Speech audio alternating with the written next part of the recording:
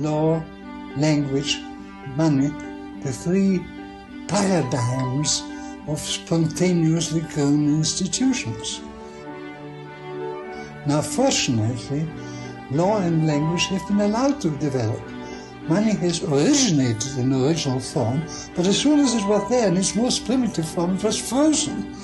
After two or three hundred years of coins, all governments put their hands and stopped any further developments. Government said it must not develop any further. We were not allowed to experiment on it. Money hasn't been improved. Money has rather become worse in the course of time. And what we have had since in development are matters of government inventions, mostly own, mostly abuses of money. I have directed Secretary Connally to suspend temporarily the convertibility of the dollar into gold or other reserve assets. And I have come to the position of asking, has monetary policy ever done any good? I don't think it has. I think it has done only harm. And that's why I am now pleading for what I've called denationalization of money.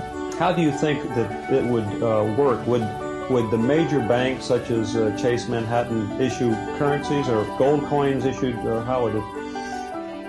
Well, the governments can stop people from issuing money. They can hardly stop them from opening accounts in something. After all, in the modern world, hand-to-hand money, coins, and paper is no longer the most important. Uh, credits and credit cards are a substitute.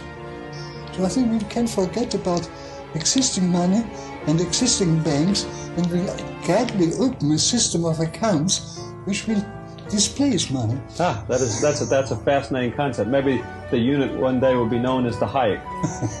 I don't believe that we shall ever have a good money again before we take the thing out of the hands of government. Then we can't take them violently out of the hands of the government. All we can do is, by some sly roundabout way, introduce something they can't stop.